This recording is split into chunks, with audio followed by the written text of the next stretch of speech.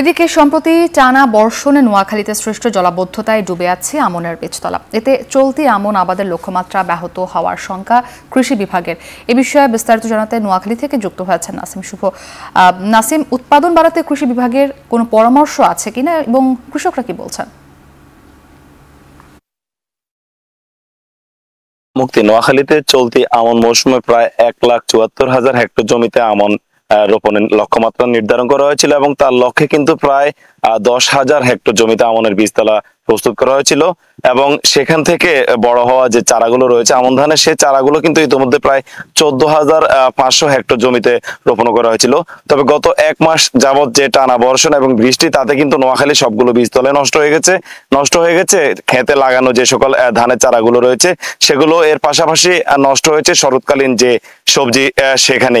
নোয়াখালী জেলা কৃষি সম্প্রসারণ অধিদপ্তরের তথ্য মতে, নোয়াখালীতে এবছর প্রায় সাড়ে পাঁচ হাজার হেক্টর জমিতে কিন্তু শরৎকালীন সবজিরও চাষ করা হয়েছিল।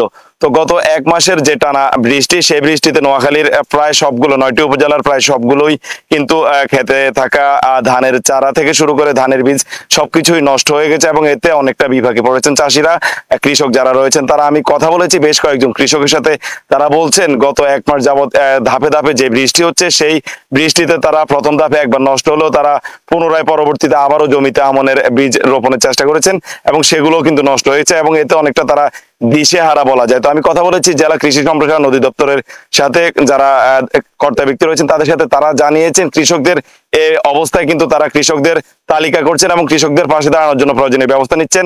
সরকারি ভাবে তালিকা তৈরি করা হয়েছে এবং যে সকল কৃষক কিন্তু ক্ষতিগ্রস্ত হয়েছে, তাদের মাঝে সরকারি যে এই প্রণোদনা, সেটি দেওয়ার ব্যবস্থা করবেন এবং পুনরায় যাতে কৃষকরা তাদের জমিতে আমন ধান আমন ধানের চারা লাগাতে পারে সেই জন্য কিন্তু তারা প্রয়োজনীয় পরামর্শ ব্যবস্থা নেবেন। তো মুক্তি এ ছিল আসলে নোয়াখালী থেকে আমন, আমাদের আমার কাছে সবশেষ।